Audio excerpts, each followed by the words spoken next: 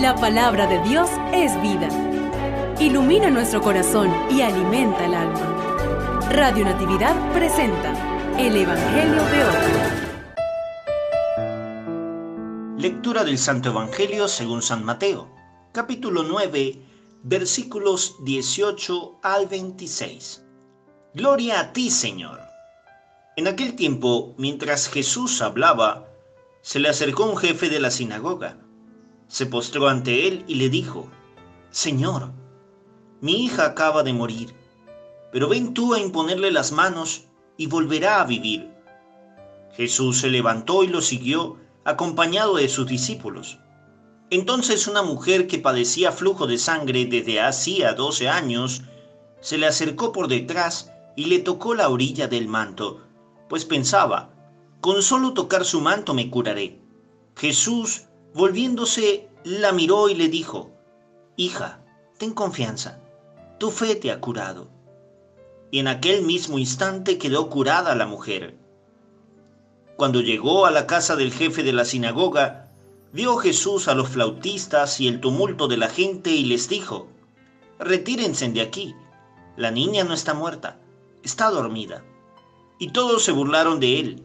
En cuanto hicieron salir a la gente, entró Jesús, tomó a la niña de la mano y ésta se levantó.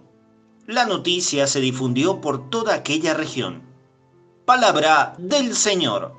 Gloria a ti, Señor Jesús.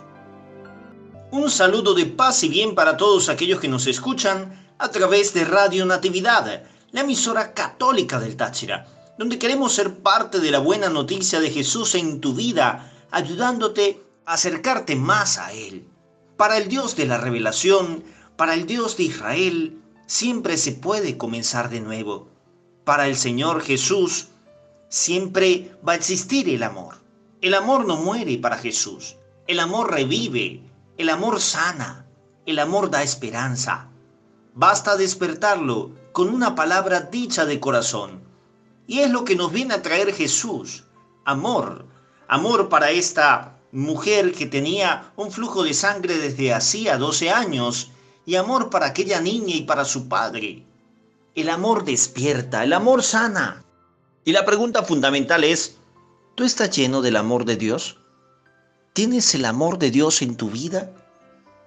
Porque de lo contrario, vas a sentir entonces ese vacío, vas a sentir que vives en el mundo como dormido para Dios. Y no vas a encontrar ese sentido fundamental para la vida, servir, servir con alegría, con generosidad.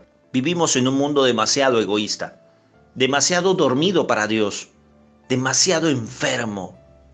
Y la única forma es tocando a Jesús, buscándolo. ¿Y tú? ¿Lo estás buscando? No olvides las etiquetas, los sacerdotes buenos somos más y yo tengo un amigo sacerdote. Dios te bendiga.